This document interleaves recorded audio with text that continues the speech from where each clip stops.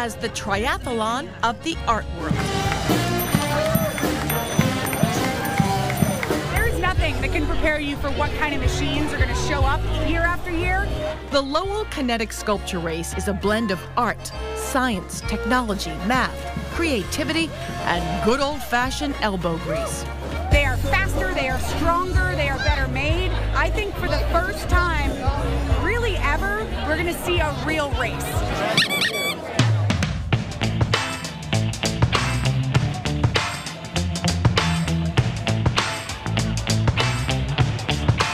These colorful and funky all terrain sculptures are powered by humans.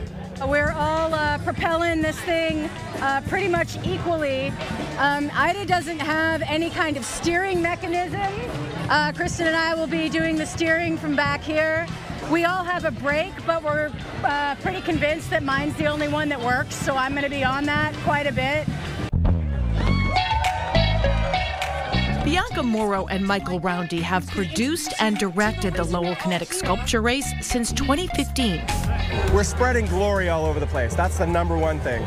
But we also want um, people to kind of experience the idea of STEAM, uh, science, technology, engineering, art, and math um, in a fun atmosphere where people are having a good time and yet also understanding that all these things can kind of integrate and that it's really important to do that.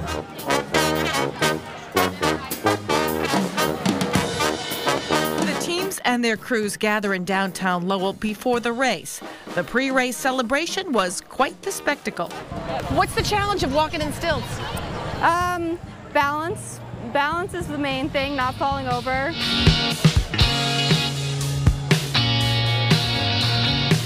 Check out this colorful crew. Meet the one and only Fruit Roll Ups. These crazy characters are from Nashua. Are you guys gonna win? Yeah!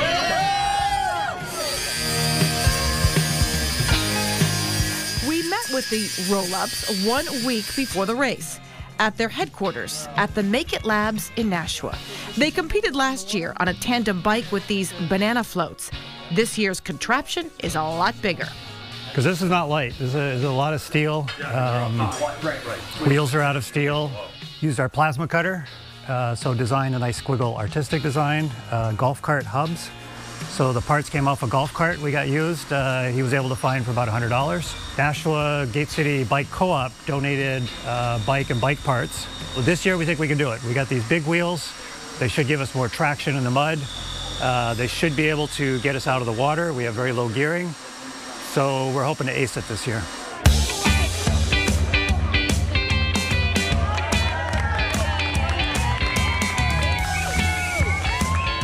Leg of the race brings the teams down Bone Shaker Alley, appropriately named for the cobblestones.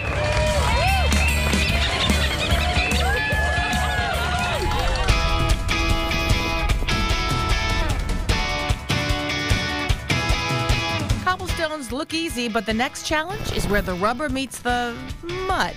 This 50 foot long pit is 8 inches deep.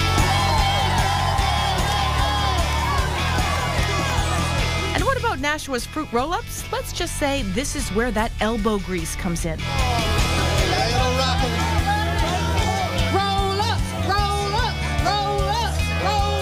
The roll ups get pulled out, and the parade of moving artwork makes its way to the Merrimack River. For the pirates, it was smooth sailing. Others needed a backup. Cinnamon Girl took her time and pedaled to shore, and the roll ups, let's just say they persevered.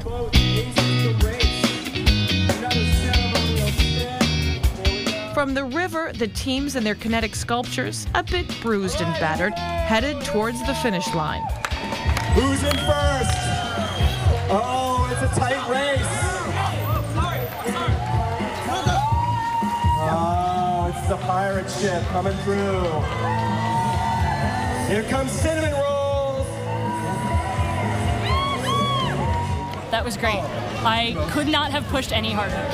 Thanks for your help. I'm really, really pleased. For a sculpture that we built in a matter of weeks, I, I'm really blessed by how talented and generous my friends are from the ground up. This was absolutely a group effort.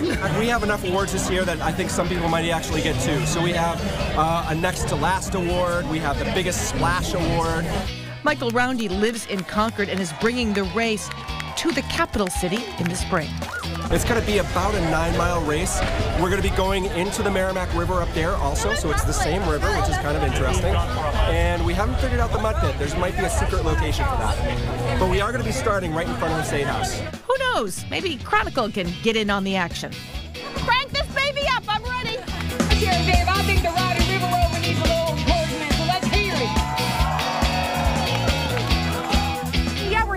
fun and blow bubbles and wear silly costumes, but every dollar that we raise today through merchandising goes to the STEM Academy at the Rogers School, to their after-school STEM program.